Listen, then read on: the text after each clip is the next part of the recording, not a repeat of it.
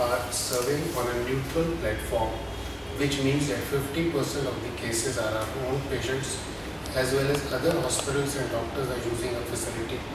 The main hospitals which are patronizing us include Apollo Hospital, Medanta, St. Stephen's, Shroff Charity Hospitals, so on and so forth.